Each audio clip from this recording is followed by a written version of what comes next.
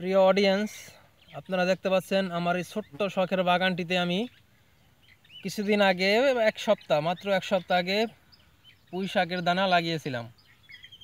তো পুঁই শাকের যে বীজ বপন করেছি, তা থেকে কিন্তু চারা বের হতে শুরু করেছে। এই যে দেখতে পাচ্ছেন, এই যে এখানে একটি এখানে একটি, ওই তো এখানে একটি, এই তো এই তো দেখতে পাচ্ছেন, এই যে এখানে আরেকটি। ওদিকে